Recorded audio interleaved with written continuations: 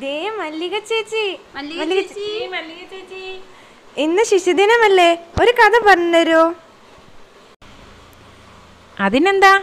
പറയാമല്ലോ. ചാച്ചാജി ചെറുപ്പം മുതലേ ശാസ്ത്രബോധമുള്ള കുട്ടിയായിരുന്നു.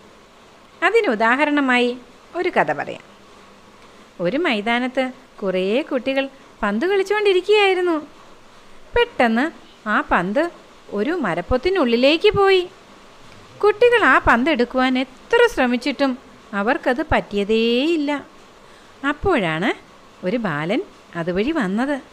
വിഷമിച്ച് നിൽക്കുന്ന കുട്ടികളോട് എന്താണ് കാര്യം എന്ന് ബാലൻ ചോദിച്ചു.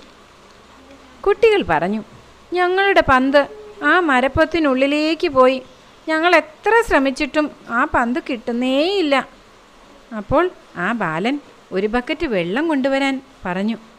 കുട്ടികൾ പെട്ടെന്ന് തന്നെ അതനുസരിച്ച് ബക്കറ്റ് നിറയെ വെള്ളം കൊണ്ടുവന്നു. ആ ബാലൻ വെള്ളം മുഴുവനും മരപ്പൊത്തിനുള്ളിലേക്ക് ഒഴിച്ചു.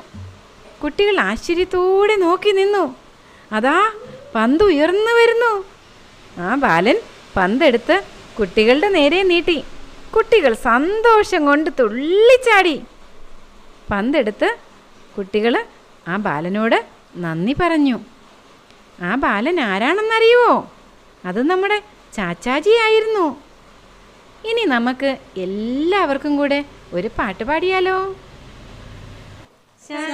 ശിശി ശിശുദിനം ചാച്ചാജിയുടെ ജന്മദിനം. നവംബർ മാസം പതിനാല് നമ്മുടെ എല്ലാം പുണ്യദിനം. റോസാപ്പൂവ് പറിച്ചിടാം കുപ്പായത്തിൽ അണിഞ്ഞിടാം ആടാം പാടാം കളിയാടാം. ശാശാ ശിശി ശിശുദിനം. ചാച്ചാജിയുടെ ജന്മദിനം. നമ്മൾ കൊത്തു വിളിച്ചിടാം.